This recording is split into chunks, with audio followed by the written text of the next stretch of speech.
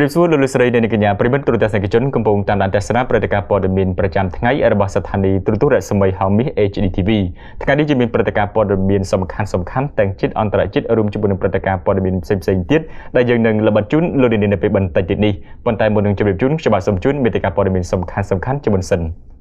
សម្ដេចហ៊ុនសែនអះអាងថាមិនបោះបង់ចោលប្រព័ន្ធការងាររដ្ឋបាលទេបើទោះបីជា Facebook បានជួយពន្លឿនការងារឲ្យមានប្រសិទ្ធភាពក្តី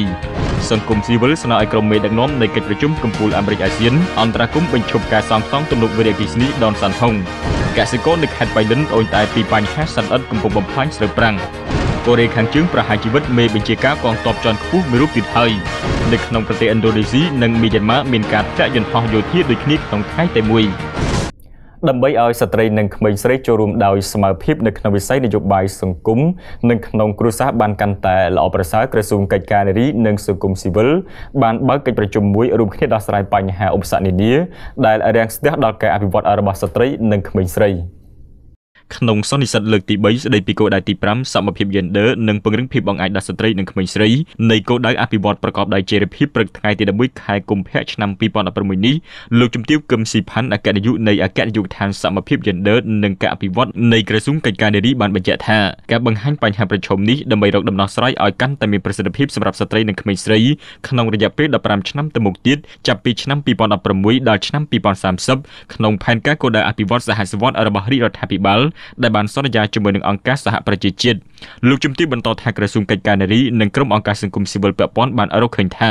ស្ត្រីនៅតែទទួលរងការរើសអើងក្នុងសង្គមការទទួលបានការអប់រំទាបរងអំពើហិង្សាក្នុងគ្រួសារនិងការទទួលបានតំណែងដើម្បីធ្វើសេចក្តីសម្រេចចិត្តក្នុងរាជរដ្ឋាភិបាលរដ្ឋសភាប្រសិទ្ធិនិងនៅថ្នាក់ក្រុមប្រឹក្សាឃុំសង្កាត់នៅមានកម្រិតទាបនៅឡើយលោកជំទាវបញ្ជាក់ថាឧបសគ្គរបស់ស្ត្រីបានធ្វើឲ្យស្ត្រីមិនទាន់មានមុខមាត់នៅក្នុងឆាកនយោបាយស្ត្រីស្ថិតនៅក្នុងស្ថានភាពក្រីក្រមិនទាន់ក្តាប់បានសេដ្ឋកិច្ចនៅក្នុងដីនិងស្ថិតនៅក្នុងស្ថានភាពងាយរងគ្រោះការចូលរៀនរបស់កុមារាកុមារីនៅបឋមសិក្សា គឺបានស្មើគ្នាហើយចានៅទុតិយភូមិ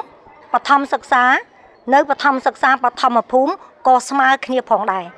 តែអ្វីដែលយើងនឹងបន្តខិតខំធ្វើការងារតទៅទៀតពាក់ព័ន្ធកាត់បន្ថយគម្លាត gender នៅក្នុងវិស័យអប់រំគឺធ្វើម៉េចបង្កើនការចូលរួមរបស់និស្សិត នារី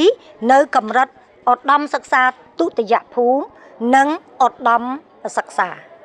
ពីកម្រិតនឹងដែលយើងឃើញថាសមាមាត្រគឺកើនហើយប៉ុន្តែការកើនក៏នៅមានកម្រិតផងដែរចាបន្ទាប់មកទៀតណាពាក់ព័ន្ធទៅនឹងថាការចូលរួមរបស់ស្ត្រីក្នុងវិស័យសេដ្ឋកិច្ច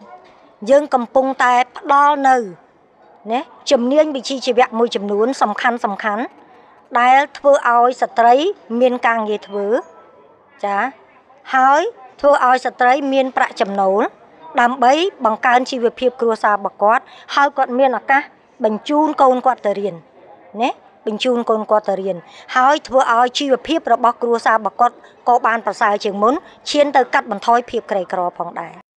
លោកស្រីជឹមម៉ាណាវីនាយិកាវិទ្យាស្ថានបើកទូលីបានបញ្ជាក់ថាការបង្កើនភាពអង្អាចដល់ស្ត្រីពិតជាមានសារៈសំខាន់ណាស់ក្នុងការឲ្យស្ត្រីកាន់តែមានលទ្ធភាពស្មើនឹងបុរសក្នុងការជ្រុំធ្វើសេចក្តីសម្រេចចិត្តនិងការអភិវឌ្ឍប្រទេសខណៈស្ត្រីនិងបុរសនៅក្នុងប្រទេសកម្ពុជាមានចំនួនប្រហាក់ប្រហែលគ្នា